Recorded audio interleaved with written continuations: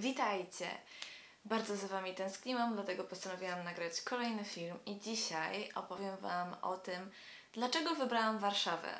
Bo być może wiecie, lub też nie, że mieszkam tutaj od kilku miesięcy i chciałam Wam powiedzieć, co takiego mnie do tej Warszawy przyciągnęło.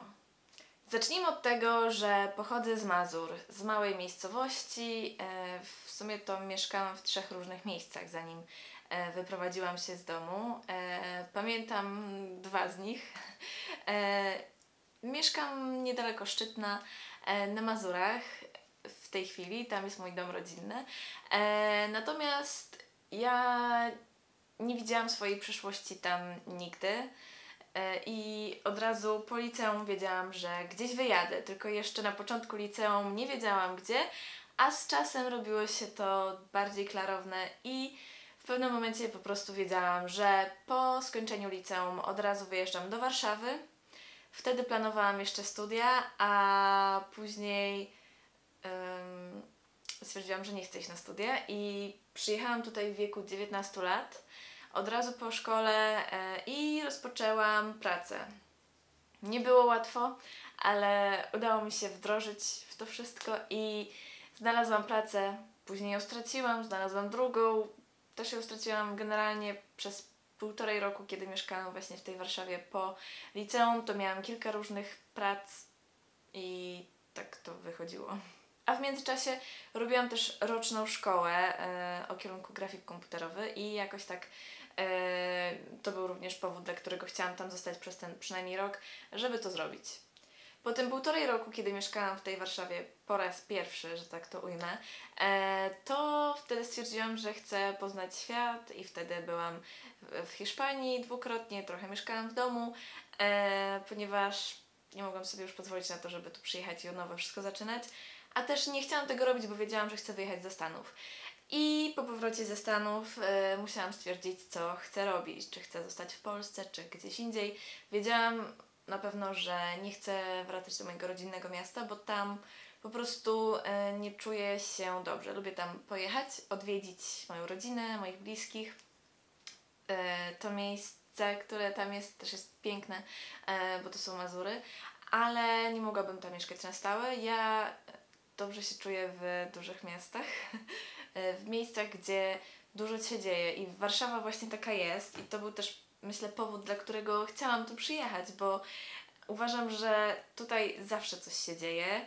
E, Jest zawsze dużo koncertów. Lato to jest w ogóle tu jest ciągle coś. Wiosna, lato, mm, kiedy są juwenalia różnych uczelni, jest tutaj masa tego. Są kina, są centra handlowe, e, w każdej dzielnicy po prostu czasami jedno przy drugim e, jest mnóstwo atrakcji i rzeczy fajnych, które można tutaj robić. E, Jest dużo muzeów, nie wszystkie jeszcze odkryłam. Jest dużo parków. To miasto ma też wspaniałą historię i, i widać to na każdym kroku.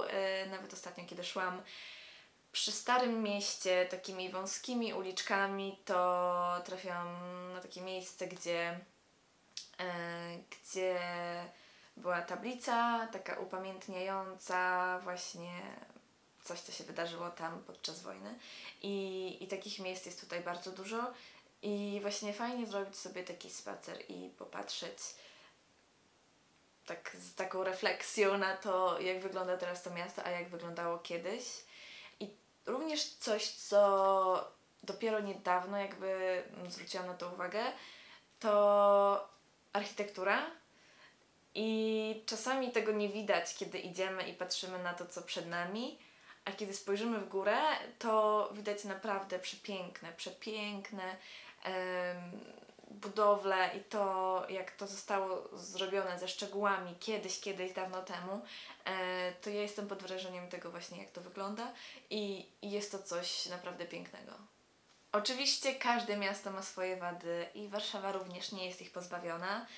To, co może się rzucić w oczy osobom przyjezdnym, to to, że jest duża różnica w cenach i to we wszystkim. Poczynając od e, jedzenia, alkoholi czy jakichś innych po prostu rzeczy, które można kupić w sklepach, e, przez restauracje, oczywiście po mieszkania, po wynajem mieszkań, bo ceny naprawdę różnią się od, e, od innych miast. E, no jest to stolica, więc niestety jest to, jest to wielki minus. Innym takim minusem jest to, że Warszawa jest ogromna i, i żeby dojechać do centrum z różnych miejsc, to e, naprawdę trzeba mieć dobrą komunikację. Fajne jest to, że mamy metro, nawet dwie linie metra, więc to bardzo ułatwia, zwłaszcza jeśli ktoś mieszka niedaleko lub ewentualnie ma dobre połączenie do tego metra, to może naprawdę e, przejechać Warszawę. No ale te odległości bywają spore i ja kiedyś mieszkałam na Sadybie, e, jest to jakieś 20-25 minut autobusem do centrum. E, teraz, kiedy się przeprowadziłam od razu e, już do mieszkania tutaj w Warszawie, to mieszkałam 20 minut pieszo do mojej pracy, która znajduje się w centrum Warszawy. I, I właściwie mieszkałam w samym centrum, na Nowym Świecie. Teraz się przeprowadziłam i mam troszeczkę dalej, ale również jest to śródmieście. I szukałam takiego miejsca, które właśnie e, pozwoli mi na to, żeby mogła do tej pracy mieć jak najbliżej, żeby mogła chodzić. E, I powiem Wam, że znalezienie właśnie takiego mieszkania w dobrej lokalizacji, w miarę dobrej cenie i jeszcze, żeby te warunki tutaj mieszkalne były ok, naprawdę y, nie jest łatwym wyzwaniem i ja y, trochę się musiałam nastresować, żeby udało mi się to zrobić, ale jestem i o tym mieszkaniu opowiem Wam kiedyś innym razem, bo teraz skupmy się jeszcze na tej Warszawie. Yy, I dlaczego właśnie chciałam tu mieszkać? No, jest to miasto dla mnie po prostu wyjątkowe i wiem, że nie wszyscy mają taki, takie uczucie do Warszawy, bo są osoby, które wolą Wrocław, które wolą Kraków, no ale są osoby, które kochają Warszawę, tak jak ja i mam nadzieję, że yy, no właśnie, że nie jestem odosobniona w tym, bo yy, no jest to miasto po prostu piękne, co możecie zobaczyć na filmikach, które pokazuję. E, uważam, że, że Warszawa jest wyjątkowa i, i jeśli ktoś jej jeszcze nie pokochał, to chyba nie był tu wystarczająco długo. Co więcej mogę Wam powiedzieć? Czy wiążę swoją przyszłość e, z Warszawą? Ja wiedziałam, m, wracając do Polski, że jest to jedyne miasto, jedyne miejsce w Polsce, w którym ja chcę mieszkać. Bo na ten moment nie widzę siebie gdzieś indziej w Polsce.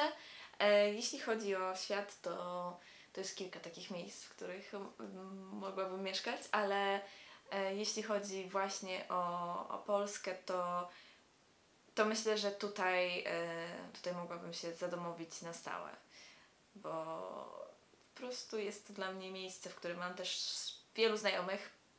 E, Kiedyś, jak tu się przeprowadzałam, to nie miałam tylu znajomych, a teraz e, mam bardzo dużo koleżanek, e, bardzo dużo byłych au które poznałam e, w Stanach, czy które jakby poznałam przez Instagram, też tutaj mieszka, więc e, no jest to fajne miejsce i uwielbiam Warszawę i i teraz nadchodzi jesień i będzie pięknie i e, możecie zobaczyć, że się cieszę.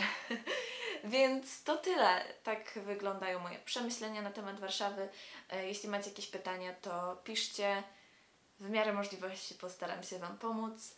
Mam nadzieję, że podobał Wam się taki film po przerwie i wierzę, że teraz będziemy kontynuować i będę dla Was nagrywać więcej, więc e, dziękuję Wam bardzo za to, że oglądaliście i do zobaczenia w kolejnym filmie.